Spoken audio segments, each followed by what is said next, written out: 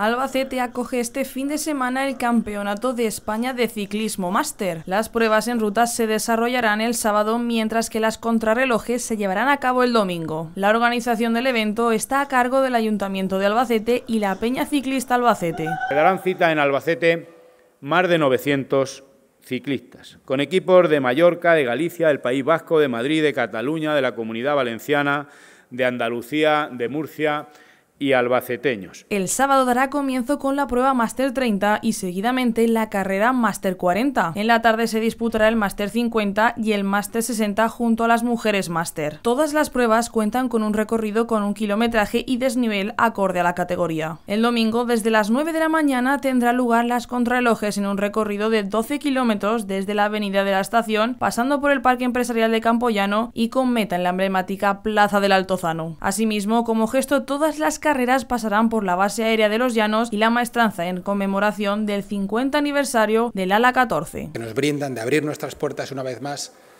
para que la ciudadanía sepa y vea la necesidad que tenemos de fomentar tanto el deporte, como la unión con la, con la ciudad de Albacete. Además de Albacete, las pruebas en ruta atravesarán los municipios de Peñas de San Pedro, El Salobral, Pozuelo, Los Pocicos y Pozo Hondo. La entrega de premios será en el camión podium de la Vuelta a España. Todos los esfuerzos y, y todas las herramientas necesarias para, para, que esto salga bien, un dispositivo que, que va a ser bastante importante porque hemos previsto un total de ocho motos de la Guardia Civil, 12 motos contratadas profesionales para apoyar, apoyar, a la Guardia Civil durante todos los recorridos. Las calles de Albacete serán protagonistas de uno de los campeonatos claves para el ciclismo y que dará un gran impulso económico a la ciudad.